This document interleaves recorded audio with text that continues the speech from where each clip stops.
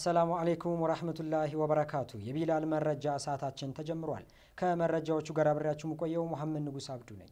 በቅድሚያም አርዕስተ ዜና። የኢትዮጵያ እስልምና ጉዳዮች ጠቅላይ ምክር ቤት አሁንም በውጥረት ውስጥ ይገኛል። በመቶ ሚሊዮን ብር የአዲስ አበባ የመንገድ መብራትን የማዘመን ስራ እየሰራ መሆኑን የአዲስ አበባ መንገዶች ባለስልጣን አስታወቀ። የፌዴራሉ ጠቅላይ አቃቢ ሕግ ክሳቸው እንዲቋረጥ ያደረገላቸው 63 ተጠርጣሪዎች ይፋ አድርጓል። እነዚህና ሌሎች መረጃዎች ይዘን ቀርበናል። ኢንሻላ አብራችሁን ቆዩ። የኢትዮጵያ እስልምና ጉዳዮች ጠቅላይ ምክር ቤት አሁንም በውጥረት ውስጥ ይገኛል። ኡመር ተማም እንደሚከተለው ያቀርበዋል። ባለፉት ዓመታት በነበረው የመጅሊስ መዋቅር ሙስሊሙን ግራ ሲያጋባና ለምን ዓላማ እንደተቋቋመ ብዙዎችን ሲያስተዛዝብ ቆይቷል። ለዚህም ነው ከ2004 ጀምሮ ሙስሊሙ በነቂስ ወጥቶ ለረጅም ጊዜያት ተቃውሞን ሲያሰማ ይቆየው። ለዛ ነበር ሙስሊሙ ማህበረሰብ እንዲሁም ይወክልናል ብሎ የመረጣቸውን የመፍትሄ አፈላላጊዎችን ጨምሮ ለአካል መጉደል፣ ለህሊና ጉዳት እንዲሁም ለረጅም ዓመታት በእስር ሲንገላቱ የቆዩት። ነገር ግን ከለውጡ በኋላ የቀድሞ የመጅሊስ አመራሮች ከስልጣን ከለቀቁ በኋላ ሙስሊሙ ይወክለኛል ብሎ እስኪመረጥ ድረስ በሌላ አመራሮች መተከታቸው አይዘነጋም። ነገር ግን ባልታወቀ ምክንያት ምርጫ ሳይካሄድ ከስድስት ወራቶች በላይ ያስቆጥሯል። ሆኖም ግን ላለፉት ጥፋት በይቅርታ የተለቀቁት የቀድሞ የመጅሊስ አመራሮች አሁንም ብቅ ማለታቸውን የብዙዎችን ምዕመናን የመጅሊስ ጉዞ አሁንም ግራ እያጋባ መጥቷል። ባለፈውም በሀይከን ሆቴል የቀድሞ አመራሮች ስብሰባ ማድረጋቸውን ተከትሎ አዲስ አበባ መጅሊስ ስብሰባውን ህገወጥ ብሎ የሰየመው ለዚህም የተነሳ የአዲስ አበባ ሙስሊም ወጣቶች ወደ ፌዴራል መጅሊስ ደጅ መጥናት ከጀመሩ እነሆ ቀናታት አስቆጥረዋል። ጥያቄዎቻቸውም ለሚመለከተው አካል በደብዳቤ ያቀርበዋል። የመጅሊስ አመራሮች የስድስት ወር ቆይታቸው አብቅቷል፣ ምርጫ ይካሄድ፣ ቀድሞ በተለያዩ መዋቅሮች ውስጥ የገበሩና የህዝብን አማና የጣሱ ሰራተኞች ለፍርድ ይቅረቡ፣ እንዲሁም የፌዴራል መጅሊስ በአዲስ አበባ መጅሊስ ጣልቃ ይግባ። እነዚህ አይነት ችግሮች የሚፈጠሩ መጅሊስ ውስጥ የተሰገሰጉ ሰዎችን ለይቶ መጅሊስ ያውጣቸው ሲሉ አሁንም የሚታየው ጉዳይ ለመነሻው የቀድሞ የመጅሊስ አመራሮች ባደረሱት የፋይናንስ ውስጥ በህግ እንዳይጠየቁ የሚደረጉ አዝማሚያ ናቸውም ብለዋል። ለምን ሁልጊዜ ሙስሊሙ ማህበረሰብን ለምንጣፍ፣ ለውሃ፣ መብራት እየተባለ ይህ ሁሉ ያልተገባ ወጪ ማውጣቱ ማን አለበኝነትን ያሳያልም። ከህዝቡ የለውጥ ፍላጎት በተቃራኒ እንኳንስ በሙስና የተጨማለቀ በህብረተሰቡ ላይ በደል ሲፈጽም የነበረና ለበቂያ ዋሻ እንዲሆነው እየፈለገ ያለ አካል አይደለም። ተወዳጅ የሆኑ አሊሞች ወይም ምሁራን ወይም መፍትሄ አፈላላጊ ኮሚቴ አባላት ወይም የመንግስት አካል እንኳን ልሞክሮ ቢሉ ከህዝብ ጋር ከመላተም ውጭ የህዝቡን የለውጥ ፍላጎት ለመቀልበስ አይሳካላቸውም። ለመጅሊስ አመራሮች ዘላቂ መፍትሄው ገዊ የኦዲት ምርመራ በማስደረግ ቀድሞ የመጅሊስም ሆነ ጊዜያዊ ካለፈበት ከአሁኑ የሽግግር መጅሊስ ውስጥ እጁ ከስርቆት ጋር የተነካካ ማንም ይሁን ምን እንጂ ከስርቆት ጋር ያልተነካካውም የጊዜያዊ የሽግግር መጅሊስ አካልም ቢሆን መጅሊስ የህዝበ ሙስሊሙ እንጂ የፈለገ ሰው እንዳሻው የሚፈነጥዝበት የግል ንብረቱ ስላልሆነ በህዝበ ሙስሊሙ ለዘላቂ መጅሊስ አመራሮች ምርጫ ተካሂዶ መጅሊስ የሚባለው ተቋም ከአጨቃጫቂነትና ከሃይማኖታዊ ክፍፍል መላቀቅ ይኖርበታል። በመቶ ሚሊዮን ብር የአዲስ አበባ የመንገድ መብራትን የማዘመን ስራ እየሰራ መሆኑን የአዲስ አበባ መንገዶች ባለስልጣን አስታውቋል። አቡበከር አሊ እንደሚከተለው ያቀርበዋል። በመቶ ሚሊዮን ብር የአዲስ አበባ የመንገድ መብራቶችን የማዘመን ስራ እየሰራ መሆኑን የአዲስ አበባ መንገዶች ባለስልጣን አስታወቀ።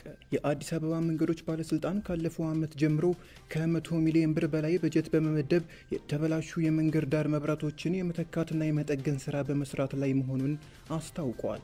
የባለስልጣኑ የኮሚኒኬሽን ጉዳዮች ዳይሬክተር አቶ ጥዑማይ ወልደ ገብርኤል እንደገለጹት እስካሁን ባለስልጣኑ ከተመደበው ገንዘብ ውስጥ 25 ሚሊዮን ብር ለጥገና ስራ አውሏል። በዚህም በከተማዋ በተለያዩ ችግሮች ሳቢያ አገልግሎት መስጠት አቁመው የነበሩ የመንገድ ዳር መብራቶች ተጠግነው ወደ ስራ መግባታቸውን ኃላፊው አመላክተዋል። ለአብነትም ለረጅም ጊዜ ሳይሰሩ የቆዩት የዊንጌት እንቁላል ፋብሪካ፣ አቡነ ጴጥሮስ አደባባይ መንገድ፣ የቀለበት መንገዶች አብዛኛው የመንገድ መብራት ከኮተቤ ወሰን ግሮሰሪ እስከ ላምበረት፣ ቦሌ አራብሳ፣ ፈረንሳይ ጉራራ አካባቢ ጠፍቶ የነበሩ የመንገድ መብራት አገልግሎት እንዲሰጥ መደረጉን አብራርተዋል። በአዳዲስ የመንገድ ፕሮጀክቶች ደግሞ ቁመታቸው ከፍ ያለ LED ወይንም ኃይል ቆጣቢ መብራቶች የሆኑ የመንገድ ዳር መብራቶች በመሰራት ላይ መሆናቸውንም ገልጸዋል። እነዚህ የመንገድ ዳር መብራቶች ከቀድሞ መብራት አንጻር ሲታዩ በውበትም በኃይል ቁጠባቸውም ተመራጭና ረጅም ጊዜ ማገልገል ይችላሉ ሲሉ አቶ ጥዑማይ ተናግረዋል።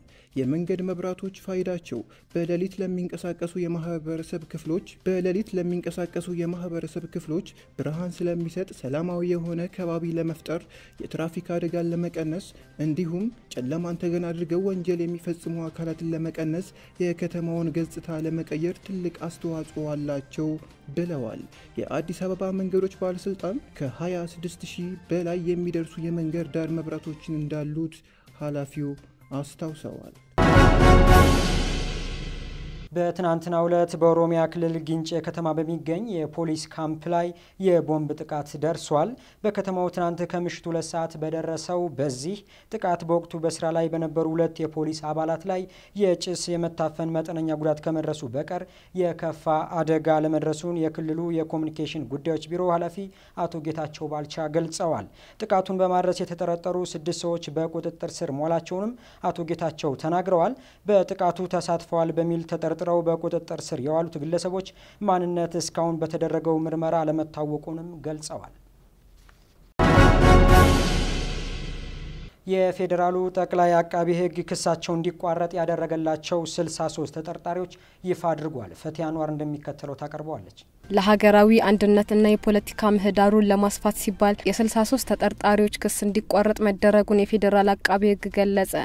በትላንትናው ዕለት የጠቅላይ አቃቢ ሕጉ ኮሚሽን ጽህፈት ቤት በሰጠው መግለጫ ክሳቸው እንዲቋረጥ የተደረገበትም ዓላማ የፖለቲካ ምህዳሩን ለማስፋት እንደሚሆን ገልጸዋል። በሰብአዊ መብት ጥሰት፣ በሙስና ወንጀል እና በታክስ ማጭበርበር የታሰሩ የነበሩትንም 63 ተጠርጣሪዎች ይቅርታ እንዲደረግላቸው በመግለጫው አውስተዋል።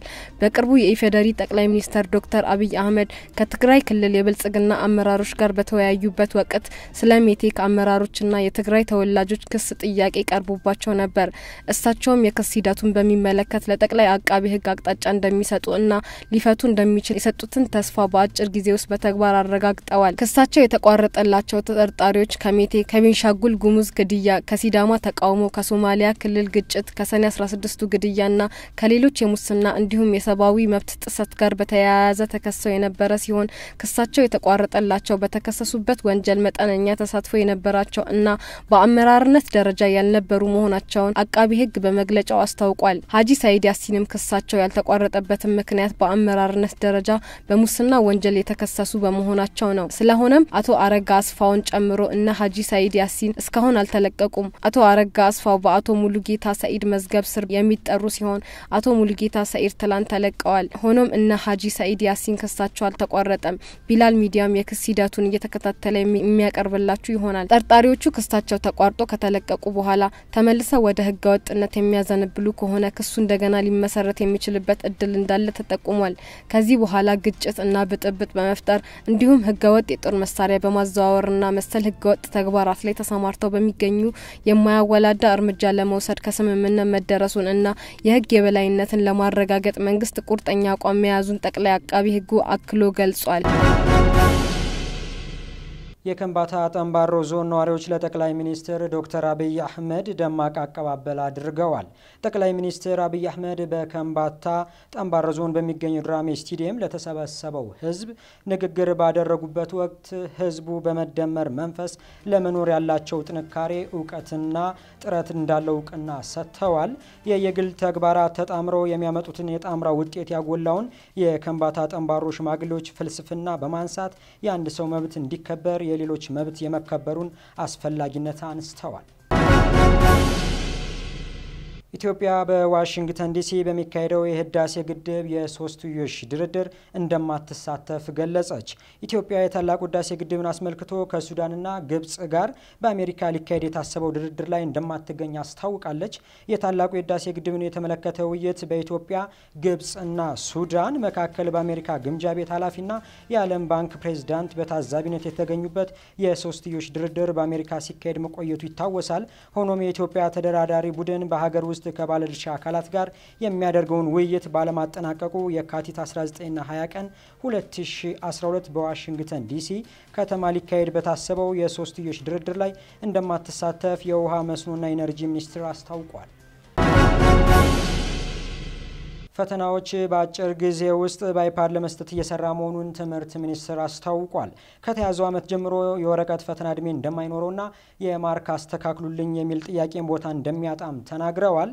ፈተናን በ iPad መፈተን እንደምንችል ያረጋገጥንበት ወቅት ላይ ነን ያሉት ዋና ዳይሬክተሩ በእርግጥ ከጀርባው ሊሟሉ የሚገባቸው በርካታ ነገሮች ቢኖሩም አሁን ላይ በኤጀንሲው በኩል ሙሉ ዝግጁነት ስለመኖሩም ጠቁመዋል። ዘንድሮ 450 ሺህ የሚጠጉ የ12 ክፍል መልቀቂያ ፈተና የሚወስዱ ተማሪዎች እንዳሉን እንገምታለን። መሟላት የሚገባቸው ነገሮች አሟልተን የመንግስት ትኩረት በዚሁ ከቀጠለ በአጭር ጊዜ ውስጥ ተማሪዎቹ እንዲለማመዱ በማድረግ ፈተናዎችን በላፕቶፕ ኮምፒውተርና በአይፓድ ለመስጠት እንደሚቻልም ተናግረዋል። መቶ አራት ኢትዮጵያውያን ከታንዛኒያ ወደ ሀገራቸው ተመለሱ። የህገ ወጥ የሰው ዝውውር ሰለባ የሆኑት መቶ አራት ኢትዮጵያውያን በዛሬው ዕለት ከታንዛኒያ ወደ ሀገራቸው ተመልሰዋል። ተመላሾቹ ሪንጋ በሚባል ግዛት በሚገኝ እስር ቤት ውስጥ የቆዩ መሆናቸው በታንዛኒያ የኢትዮጵያ ኤምባሲ አስታውቋል። ቢላል ሚዲያ በቅርቡ ወደ ቴሌቪዥን ለመቀየር እያደረገ ባለው ጉዞ ህዝበ ሙስሊሙ መደሰቱን ገለጸ። በጣም ደስ ይላል። ምክንያቱም በ YouTube ላይ የምናገኘው የነበረውን ቢላልን አሁን በተሻለ ደረጃ በቲቪ ማግኘታችን የተሻለ ነው። የተሻለ information ኦችን ለማግኘት ቅርብ እንሆናለን ማለት ነው። ለ information ኦች ቅርብ እንሆናለን። እዛ ላይ ያሉት information ኦች ምርጥ ስለሆኑ እዚህ ላይ ደግሞ በቀላሉ ማግኘት ስንችል ይብለጥ በጣም ያስደስታል። ማለት እንደ ኢስላም ትልቅ ደስታ ይሰማሃል። ብዙ ኢስላማዊ የሆኑ ጣቢያዎች አይታዩም። ምክንያቱም ለሀገራችን በጣም አናሳ ናቸው። እንደ ኢስላም ደግሞ ኢስላም ሁሉም ነገር ያትታል። ቢላል ለየት የሚያደርገው ደግሞ ሁሉም ነገር ያዘለ ነው። ኢስላም ፖለቲካውንም ሁሉንም ነገር ያዘለ ነገር ነው እና በጣም ደስ ብሎኛል። እኔ አንደኛ ደስተኛ ነኝ፣ ሁለተኛ ተጠቃሚ ነኝ። ለሙስሊም ህብረተሰብ ደግሞ በመከፈቱና ለትምህርትም ለእውቀትም በጣም ቆንጆ ነው። አረ በጣም ደስታ ነው የሚሰማኝ። ያው ሚዲያ እንደሚያስፈልገን ማንም ያውቃል። ለምን ሚዲያ ስለሌለን ይመስለኛል ብዙ እንትኖች እየተደባበቁ የኛ እንትኖች የኛ የኛ ብዙ ድምጾች፣ ሀሳቦች፣ ጭቆናዎች ምናምን ሚዲያዎች ስለሌሉን ነው ብዙ ጊዜ እንትን በድሎቹ እየደረሱብን ያለው ማለት ነው። ሚዲያ ደግሞ በጣም አስፈላጊ ነገር ነው ብዬ አምናለሁ፣ እንደኔ ማለት ነው። ሻለ ደስ ይለናል። በጣም ጥሩ ነው። ሚዲያ ያጥረናል። በጣም ጥሩ ነው። በጣም በዚሁ ቀጥሉበት። በዚህ ወቅት ሚዲያ መጨመሩ ለሙስሊሙ አስፈላጊ እንደሆነም ተናግረዋል። ፈጣንም ኢንፎርሜሽን ይደርሰናል ካሉት ከማዘጋጀት በተሻለ ወይም ከወረቀት ከአሉባልታ ከመስማት በተሻለ ደረጃ መረጃን ተደግፎ information ኦችን እናገኛለን። እንደ ኢስላም ጥቅሙ ብዙ ጥቅም አለው። ምክንያቱም እውቀት ሽግግር ነው። ምክንያቱም የሰማኸው ማስተላለፍ አለብህ።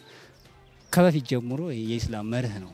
ስለዚህ እኚህ ሚዲያዎች ለኢስላም እውቀቶችን ያስተላልፋሉ።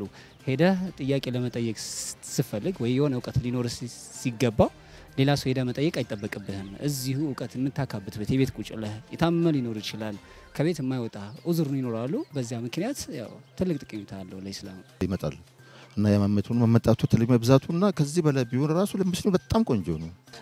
ማሻላ አልሐምዱሊላ። በአሁኑ ሰዓት ያው የሚዲያ እጥረት በሙስሊሙ በጣም በከፍተኛ ሁኔታ አለ እና ቢላል ወደ ሚዲያ መምጣቱ በጣም ያስደስታል። ምክንያቱም ቢላል በሌላው ሚዲያ ላይ ቀደምት ነው፣ ከሌሎቹ ቀደምት ነው። አሁን ወደ ሚዲያ መምጣቱ ደግሞ በጣም ያስደስታል። በጣም ብዙ ነገር ይሰራል፣ ለውጥ ያደርጋል ብዬ አስባለሁ።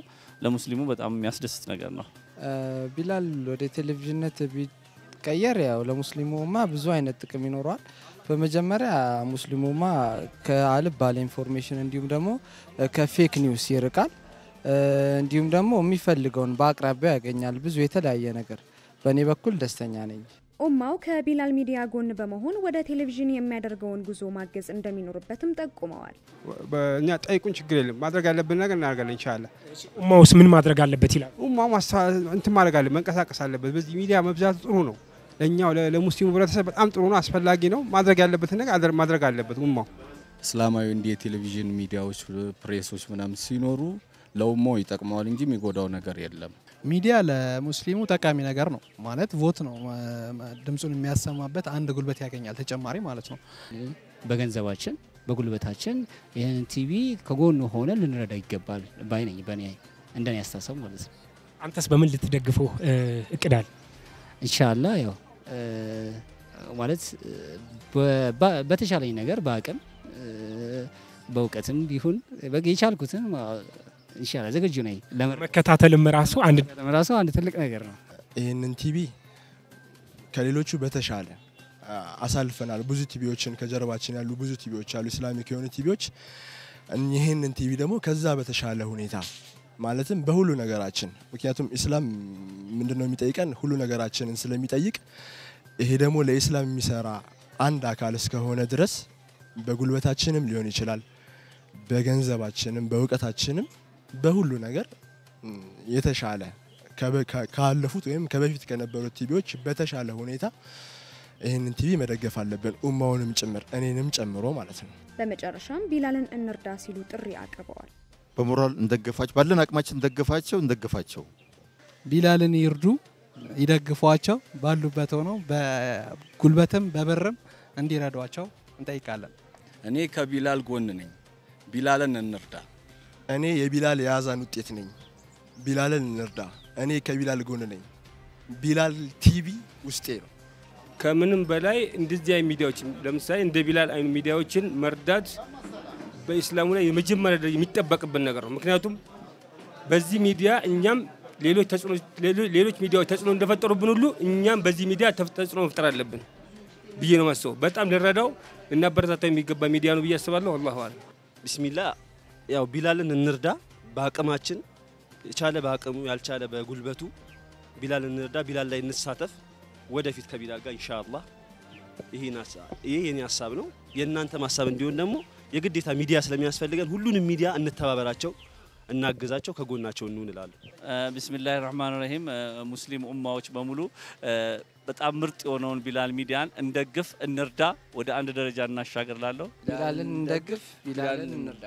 ቢላልን እንደግፍ፣ ቢላልን እንርዳ። አሰላሙ አለይኩም ወራህመቱላሂ ወበረካቱ። እኔ ከቢላል ጎን ነኝ። ቢላልን እንርዳ፣ ከቢላል ጋር እንጓዝ እላለሁ። ወሰላሙ አለይኩም ወራህመቱላሂ ወበረካቱ። እኛ ከቢላል ጎን ነን። ቢላልን እንርዳ። በጋሞ ዞን ከገርሴ ወረዳ ወደ አርባ ምንጭ ሲጓዝ የነበረ ሚኒባስ መኪና በደረሰበት የመገልበጥ አደጋ ሹፌሩንና ረዳቱን ጨምሮ የስምንት ሰዎች ሕይወት ሲያልፍ በ13 ሰዎች ላይ ከባድና ቀላል የአካል ጉዳት ደርሶባቸዋል። አሁን ላይ የትራፊክ አደጋ በተለይ በየክልል ሀገሩ እጅጉን እየከፋ መጥቷል። ከልክ በላይ መጫን፣ ከፍጥነት ወሰን በላይ ማሽከርከር፣ የመንገድ መሰረተ ልማት ችግርና የመሳሰሉ ጉዳዮች ለአደጋው ንረት በምክንያትነት ይጠቀሳሉ። በተያያዘም ዛሬ የካቲት 18 ቀን ረፋድ ላይ ብስራተ ገብርኤል ፍሬሽ ኮርነር ሱፐር ማርኬት አቅራቢያ እንጨት የጫነ አይሱዚ በመኖሪያ ቤቶች ላይ ወድቋል። በርካታ ሰዎች ለጉዳትና ለህልፈት ህይወትም ተዳርገዋል። ኮሮና ቫይረስ ከአውሮፓ ሀገራት አልፎ አፍሪካዊት ሀገር አልጄሪያ ደረሰ።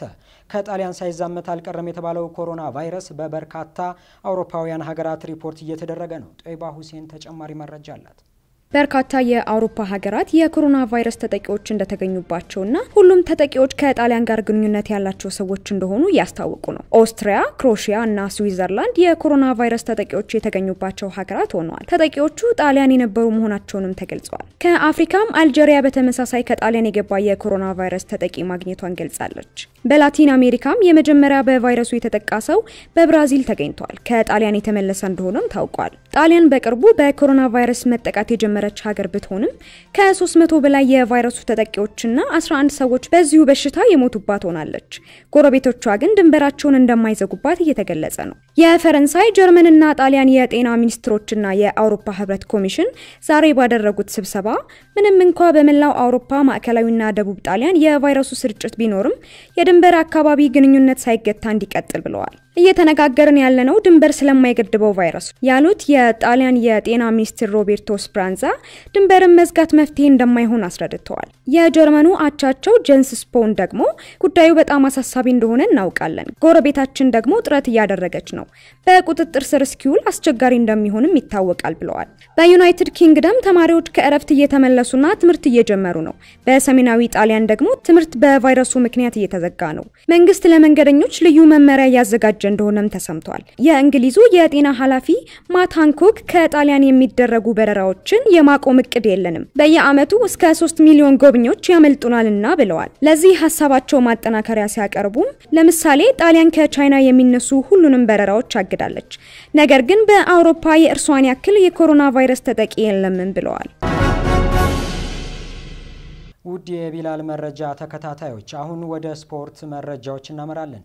ሪፖርተራችን ኡመር ተማም እንደሚከተለው ያቀርበዋል። ከሀገር ውስጥ መረጃዎቹ አስቀድመን በሴቶች ፕሪሚየር ሊግ ሁለተኛ ዲቪዚዮን ስምንተኛ ሳምንት ጨዋታዎች ትላንትና ተደርገዋል። ለገጣፎ ለገዳዲ ልደታ ክፍለ ከተማን ሁለት ለአንድ ሲያሸንፍ ንፋስ ስልክ ላፍቶ በጥሩነሽ ዲባባ አካዳሚ በተመሳሳይ ሁለት ለአንድ ተሸንፏል። ኢትዮጵያ ወጣቶች ስፖርት አካዳሚ ፋሲል ከነማን ሶስት ለዜሮ በሆነ ውጤት አሸንፏል። የደረጃ ሰንጠረዡን ሻሸመኔ ከተማ በ19 ነጥቦች በአንደኝነት ሲመራ፣ ቦሌ ክፍለ ከተማ በ15 ነጥብ ሁለተኝነት ይከተላል። ፋሲል ከነማ በ12 ነጥብ ከአንድ እስከ ሶስት ያሉትን ደረጃ ሰንጠረዦች ይዘዋል። ወደ ውጭ ዜና የአውሮፓ ሻምፒየንስ ሊግ የመጀመሪያ ዙር የጥሎ ማለፍ ጨዋታዎች ትላንትና ሁለት ጨዋታዎች ተካሂደዋል። በስታንፎርድ ብሪጅ የጀርመኑን ሀያል ክለብ ባየር ሙኒክን ያስተናገዱት ቼልሲዎች በሰፊ ጎልና የጨዋታ ብልጫ ሽንፈትን ቀምሰዋል። ሰማያዎቹ እስከ ረፍት ያለ ምንም ጎል መጓዝ ቢችሉም በሁለተኛው አጋማሽ በአርሰናል ያልተሳካ ጊዜን ያሳልፎ ወደ ባየር ሙኒክ ባቀናው ሰርጂዮ ናቤሪ ሁለት ጎሎችንና በሮበርት ሌዋንዶውስኪ ባስቆጠራቸው ጎሎች ሶስት ለዜሮ በሆነ ውጤት ጨዋታውን ጨርሰዋል። በዚህም ጨዋታ ማርከስ አሎንሶ በቀይ ካርድ ከሜዳ ተሰናብቷል። ሆላንዳዊ አጥቂው ቻምፒየንስ ሊግ የጎል መሪነቱንም ትላንትና በ11 ጎሎች መምራት ችሏል። ባቫሪያኖቹ ገና ካሁኑ ሰፊ የማለፍ እድል ይዘው የመልስ ጨዋታቸውን በአሊያንዝ አሬና ይጠባበቁም ይገኛሉ። ሌላው የአውሮፓ ቻምፒየንስ ሊግ ጨዋታዎች በኮሮና ቫይረስ ስጋት ምክንያት ጭር ባለው የሳፒዮሎ ስታዲየም የስፔኑ ሀያል ክለብ ባርሴሎና ያስተናገዱት ናፖሊዎች በቤልጂየማዊው ጠበብት ድሬስ ሜርቴንስ ጎል እስከ እረፍት አንድ ለዜሮ በሆነ ውጤት መምራት ቢችሉም ከእረፍት መልስ ፈረንሳዩ አንቶኒ ግሪዝማን ባስቆጠረው ጎል አንዳቻ ተለያይተዋል። ጨዋታውም ሁለቱ ቡድኖች ለመጀመሪያ ጊዜ ሆኖም ተመዝግቧል። በዘጠነኛው ደቂቃም አስትሮ ቪዳል ከሜዳ በቀይ ካርድ ተሰናብቷል። የመልስ ጨዋታውን በቀጣይ በታላቁ የባርሴሎና ስታዲየም ካምፕኑ ላይ ያደርጋሉ። ጨዋታው ዛሬ ምሽት ሁለት ጨዋታዎች ቀጥሎ ይውላሉ። ሊዮን ከጁቬንቱስ እንዲሁም ሪያል ማድሪድ ከማንቸስተር ሲቲ የሚያደርጉት ጨዋታ በጉጉት ይጠበቃል። በህንድ ኃይል የቀላቀለ ተቃውሞ ተቀስቅሷል። የአሜሪካው ፕሬዝዳንት ትራምፕ ህንድን በመጎብኘት ላይ እያሉ ኒውዲልሂ ውስጥ በተቃውሞ ሰልፈኞችና በጸጥታ አስከባሪዎች መካከል በተቀሰቀሰ ግጭት ቢያንስ 20 ሰዎች ህይወታቸው አልፏል። ከ150 በላይ ሰዎች ደግሞ ጉዳት ደርሶባቸዋል። በመዲና ኒውዲሊ የታየው ይህ ተቃውሞ የተቀሰቀሰው ጠቅላይ ሚኒስትር ሞዲ ያቀረቡትና ሙስሊሞችን ያገለለ ተብሎ ከፍተኛ ትችትና ውዝግብ ያስነሳውን የዜግነት ህግ ተከትሎ ነው። ይህንኑ ከፍተኛ ተቃውሞ ተከትሎ ዋሽንግተን የሚገኙ የአሜሪካ ባለስልጣናት በበኩላቸው ፕሬዚዳንት ትራምፕ ህንድን በመጎብኘት ወቅት በሚጎበኙበት ወቅት በሀገሪቱ የእምነት ነጻነትና መቻቻል እንዲኖር ያላቸውን አቋም ያስተላልፋሉ ሲሉ ተናግረዋል። agroalho. ለተጨማሪ መረጃዎች መሐመድ ሚፍታ እንደሚከተለው ያቀርብልናል። የቀድሞው የግብጽ ፕሬዝዳንት ሁስኒ ሙባረክ በትናንትናው ዕለት አርፈዋል።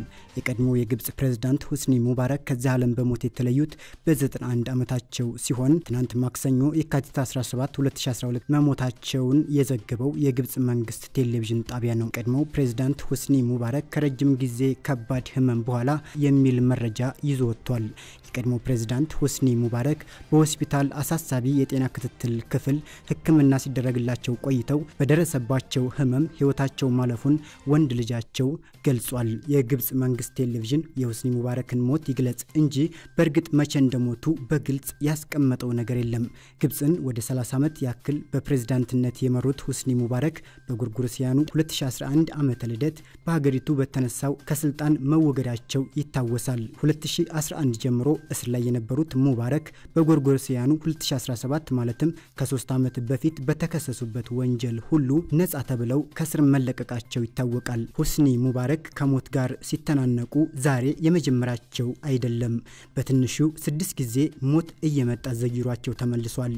ሙባረክ በሳንጃ በቢላዋ በጥይትና በቦምብ የግድያ ሙከራ ተደርጎባቸው ከሞት መንጋጋ ያመለጡ ታምረኛ ሰው ናቸው። ጥቅምት 6 1981 የዛሬ 41 ዓመት አካባቢ ማለት ነው። አንዋር ሳዳት ከእስራኤሉ ጠቅላይ ሚኒስተር መናኺም ቤጊን ጋር የካምፕ ዴቪድ ስምምነት ፈረሙ።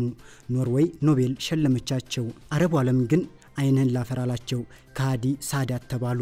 ሞት ለሳዳት እየተባለ ተዘመረ። ያኔ የሳዳት ምክትል የነበሩት ሆስኒ ሙባረክ ነበሩ። ኦፕሬሽን በድር እየተዘከረ ነበር። በካይሮ አብዮት አደባባይ በዮም ኪፑር ስዊዝ ካናል ተሻግረው የሲናይ በረሃን ከእስራኤል ነጻ ያወጡበት ቀን ነው። ሙባረክና ሳዳት ተደላድለው ሰልፋቸውን እያስጨበጨቡ ይሸኛሉ። አንድ ወታደር በኮፍያው የእጅ ቦምብ ቀርቅሮ ከኦራል መኪና በድንገት ወርዶ አንዋር ሳዳትን ተጠጋቸው። እርሳቸው ደግሞ ለመደበኛ ወታደራዊ ሰላምታ መስሏቸው ፈገግ ይሉለታል። 35 ጥይት አርከፈከፈባቸው። ሳዳት ሞቱ፣ ሙባረክም ቆሰሉ። ለሁለተኛ ጊዜ ሞትን ለጥቂት አመለጡት። መስከረም 7 1999 ሙባረክ በኢንዱስትሪ የወደብ ከተማ ፖርት ሳይድ ጉብኝት ላይ ነበሩ። ህዝቡ ሙባረክ እያለ ይስማቸዋል። እርሳቸውም ከመኪናቸው በመስኮት ወጥተው አጸፋቸውን ይመልሱ ነበር። አንድ ቢላዋ በኪሱ የሸጎጠ የ40 ዓመት ጎልማሳ ሊከትፋቸው ሰነዘረ። የአየር ኃይል አብራሪ የነበሩት ሙባረክ ያለታ ከቢላዋም ከሞትም አመለጡ። እጃቸው ላይ ብቻ ነበር የቆሰሉት። ከብርሃን የፈጠኑት ጠባቂዎቻቸው ሰውየውን በዚያው ቅጽበት ከህይወት ወደ ሞት ሸኙት። ሁስኒ ሙባረክ ለሶስተኛ ጊዜ የሞት ቀጠሮ የነበራቸው በአዲስ አበባ ነበር። ለአፍሪካ ህብረት ስብሰባ አንድ ሰማያዊ መኪና መንገዱን ዘግቶ ጥይት ማርከፍከፍ ጀመረ። እድሜ ለኢትዮጵያ ወታደሮች ሙባረክን ከሞት አተረፏቸው። እሳቸው ግን የእኔ ደህንነቶች ናቸው ያተረፉኝ ሲሉ ተናግረዋል። ያኔ ካይሮ ላይ ተመልሰው ለጋዜጠኞች እንዲህ ነበር የተናገሩት። ሊገድሉኝ የሞከሩት ሰዎች በትክክል የምን ዜጋ እንደሆኑ ልነግራችሁ አልችልም። ነገር ግን ኢትዮጵያዊ አይመስሉም፣ ጥቁርም አይደሉም። አምስት ወይም ስድስት ቢሆኑ ነው። የተወሰኑት ጣራ ላይ ነበሩ። ገና ከቦሌ አውሮፕላን ጣቢያ እንደወጣሁ ነው አንድ ሰማያዊ መኪና መንገዱን ዘጋው። አንድ ወርዶ መተኮስ ጀመረ። ሌሎቹ ከፎቅ ላይ ይተኩሱ ነበር። መኪናዬ ግን ጥይት አይበሳውም ነበርና ምንም አልደነገጥኩም። ሹፌሬም ግብፃዊ ስለነበር መኪናውም የኛው ስለነበር ወደ ኋላ ዞረህ ተመለስ አልኩት። ሶስቱን የገደሏቸውም የኛው ደህንነቶች ናቸው ሲሉ ተናገሩ። ሙባረክ የተወለዱት በሰሜን ግብፅ ካፍር አል መስልሃ ውስጥ ነው። ያን ጊዜ አንዋር ሳዳትም ሆኑ ከማል አብድል ናስር አልመጡም። በንጉስ አህመድ ፏድ ፓሻ ዘመን ነው የተወለዱት። ይህ ማለት ሙባረክ ተወልደው እስከሚሞቱ ባሉ 91 ዓመታት ውስጥ አምስት ፕሬዝዳንቶች ሲፈራረቁ አይተዋል። ሙባረክ ተራ ሰው አልነበሩም። ከዝነኛው የግብፅ ወታደራዊ አካዳሚ ተመርቀዋል። አየር ኃይል ገብተው ትንንሽ የጦር አውሮፕላኖችን ለሁለት ዓመት አብርረው ከዚያም የአብራሪዎች አስተማሪ ሆነዋል። ስራው ግን ሰለቻቸው። በዚህ መሃል ታላቁ ጄኔራል ከማል አብድል ናስር ከስልጣናቸው ሲፈነገሉ በአይነ ቁራኛ ተመለከቱ። እንደ ጎርጎሮሳውያኑ 1959 ሙባረክ ወደ ቀድሞዋ ሶቪየት ህብረት አቀኑ። ያኔ ሶቪየት ህብረት ሁነኛ ረዳት ነበረች። እዛ ሄደው ቦምብ ጣይ አውሮፕላን አብራሪነትን ተማሩ። ሩስኪን አቀላጥፈው ነው። ወዳውኑ የአየር ኃይል ዋና አዛዥነቱን ያዙ። ወዳው መከላከያ ሚኒስትር ሆኑ። እርሳቸው ግን አሁንም ይበርደኛል ይሉ ነበር። ይህ ሁሉ ስልጣን ታዲያ እንዲሁ አልመጣም። ከእስራኤል ጋር በነበረው የስድስት ቀኑ ጦርነት በአየር ኃይል አዛዥነታቸው ብሔራዊ ጀግና ተደርገው በመታየታቸው ነው ስልጣን እግር በእግር እያሳደደ የሚከተላቸው። ይህንን የሙባረክን ዝና ያስተዋሉት ሳዳት በመጨረሻም ምክትላቸው አደረጓቸው። ሳዳት ሲገደሉ ሙባረክ አጠገባቸው ነበሩ። እርሳቸውን አስቀብረው ወደ ቤተ መንግስት ሰተት ብለውም ገቡ። የቆሰሉት ሙባረክ ሳዳትን ቀብረው እርሳቸው መንበሩን የተረከቡት። ከዚህ በኋላ ከሞቀው ቤተ መንግስት ለመውጣት ሶስት አስርት ዓመታት አስፈልጓቸዋል። ከዚህ በኋላ ሙባረክ ከሀብታሟ ሳውዲ ጋር ታረቁ። በሳዳት ምክንያት ከአረብ ሊግ የተባረረችው ግብፅም ወደ ህብረቱ ተመለሰች። እንዳውም የአረብ ሊግ መቀመጫ ወደ ግብፅ ተመለሰ። ሙባረክ የተማሩት በራሻ ነው። በሩስኪ ቋንቋ ይቀኛሉ። ነገር ግን ከሶቪየት ህብረት ይልቅ ምዕራቡ ጋር የሙጥኛሉ። እስራኤል ጋር አልቃረንም፣ ስምምነቱንም አላፈርስም በማለታቸው አሜሪካ ሙባረክን ወደደች። ቢሊዮን ዶላሮችን ማፍሰስም ጀመረች። ሙባረክ የጀመሩት የአሜሪካና የግብፅ ወታደራዊ ፍቅር ዛሬም ድረስ ቀጥሏል። ሙባረክ በተለይም በመጨረሻው ያንቀጥቅጠህ ግዛ ዘመናቸው ለይቶላቸው ነበር። እርሳቸው ላይ ብዕሩን ያነሳ የካይሮ ደራሲ ይቆነጠጣል። በሙባረክ ቤተሰብ የተሳለቀ ኮሜዳን ይኮረኮማል። ሙባረክ ታፍረውና ተከብረው ነበር የኖሩት። በውድም በግድም ድንገት ታህሪር አደባባይ ተጥለቀለቀች። የአረቡ ጸደይ ከተፍ አለ። ተንቀጥቅጦ የተገዛላቸው የምስር ህዝብ አንቀጠቀጣቸው። ታንክ ቢልኩ ጥይት ቢያርከፈክፉ ወይ ፍንክች አለ። እንደ ጎርጎሮሲያኑ በ2011 ላይ ለሰፊው ህዝብ ጥቅም ሲባል ስልጣኔን ለቅቄያለሁ አሉ። ግብጾች ዘመናዊው ፈርዖን ስልጣን ለቀቀ ብለው በደስታም ባተራጩ። ዛሬ ግብፃውያን ለሙባረክ ያለቅሳሉ ወይስ ማረን ሙባረክ ይላሉ? ሙባረክ የሸኘው የታህሪር አደባባይ ሬሳቸውን ሲሸኝ ምን ሊሆን ውድ የቢላል መረጃ ተከታታዮች የዕለቱ መረጃዎች እነዚህ ይመስሉ ነበር። ከመረጃዎቹ ጋር አብሬያችሁ የቆየሁት ሙሐመድ ንጉስ አብዱ ነበርኩኝ። ወሰላሙ አለይኩም ወረህመቱላሂ ወበረካቱ።